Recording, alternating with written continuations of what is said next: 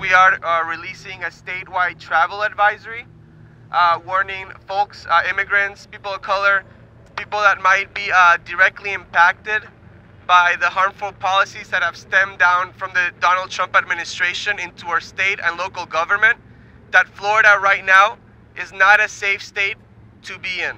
Two thirds of the U.S. population lives in this area of extra jurisdiction of Border Patrol, where their civil rights can be violated and are routinely violated. We do not feel like our communities are safe in this state.